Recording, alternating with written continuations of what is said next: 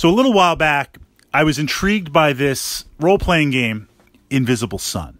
It had a lot of the markers, things that I enjoy from a role playing game in terms of GM, uh, game master interaction.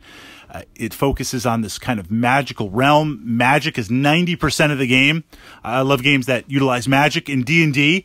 Given the choice, I'm going to play a wizard or a sorcerer. I like monks too, but I enjoy the possibility, the freedom, the creativity of, of magic.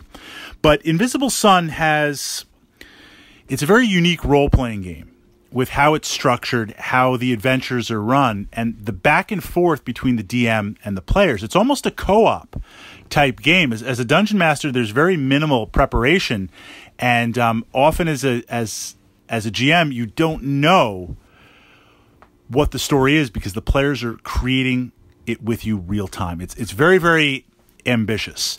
So I picked up this game, and uh, this leads to the question when I was figuring out working to establish a, a regular group to play. This applies to any role playing system, new role playing system. How do we ease into it?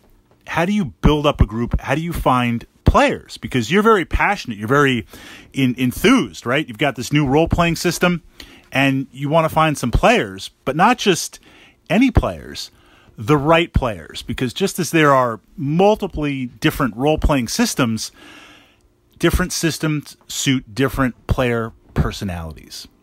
So the first thing I did was try to understand the, the basic rules. And again, we're looking at Invisible Sun, but this is really just a, a template. I tried to look at the basic core rules, and that, that was going to be the start. We're going to try and keep things as simplified as possible. I created a starter adventure, uh, something that we could play in two or three hours. I had some pre generated characters, but given the uniqueness of the game, I, I wanted my players to kind of make up their own character. And then I invited a bunch of friends to play. A lot of them were role playing friends from my Dungeons and Dragons group. I had a few players from my Alien RPG group board game friends, um, wargaming friends, and the idea was I've got this cool, cool new system I'm excited about. I'm going to run a single one-off adventure, and I'd like to share that with you. I'd like you to sit down at the table. Let's roll some dice. Let's flip some cards. Let's have some fun. And there's no expectations beyond that. So the idea was this was kind of like a hangout and test drive. So as a GM, I, I could play the system real time and, and learn the rules. But I wasn't committing to any one particular adventure path or story. We were going to see what it could do. Let's let's see what the cube can do. And at the same time, that was put out to all of my players where we could see who would possibly be interested in this. Because there might be people interested in, in this particular system that I might not be thinking about. Let's let's bring everybody in. Let's let's just bring everybody in and since there's no commitment past the first adventure, if you like it, great. We can continue on. If you don't, that's okay. You know, we still had an evening of fun flipping cards and rolling dice and creating some memories.